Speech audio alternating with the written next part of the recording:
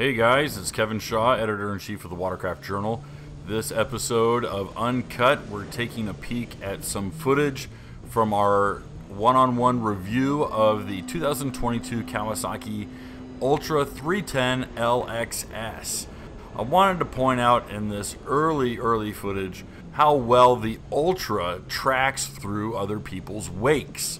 That's been the biggest conversation topic with a few groups in regards to how the FX versus the ST3 versus the Ultra hulls track and cut through different water conditions. This footage was taken back in July on Lake Mead, Nevada, and we had some pretty warm temperatures. We were in the high 80s, low 90s, and uh, this hurt a little bit of our performance testing, but again, what I want you guys to observe is just how natural the Ultra was at cutting through the wakes of the other riders and it didn't require any major rider input, didn't require any major corrections. In fact, you're going to see zero jostling or weird cutting. Uh, to that effect, I also wanted to throw in a quick cut, and I know this is called uncut, but I had actually uh, dropped the camera from my mount. I had caught it and put it back in place, so that's the little cut that I made right there. Uh, what this footage, though, ends up showing is how natural the Ultra 310 is at being able to make some sharp turns and do so at speed and how naturally it corners even while standing up. This is something that is really new to the Ultra and only comes about with lowering the footwells as low as they did. They, they did so by several inches.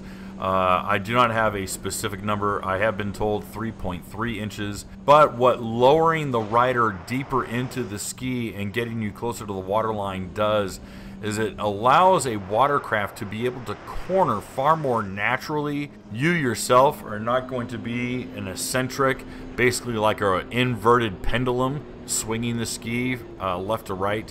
When you're down low and the center of gravity is is much lower to the water, you're able to make natural turns with a very casual or natural inside lean.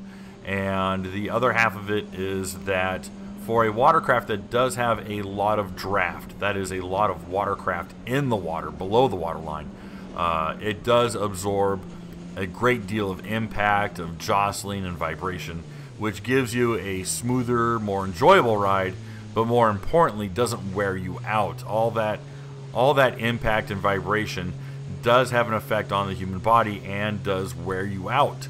So you do not feel the same level of rider fatigue that you will with a watercraft with less insulation or thinner material or with a watercraft with an inferior hull design.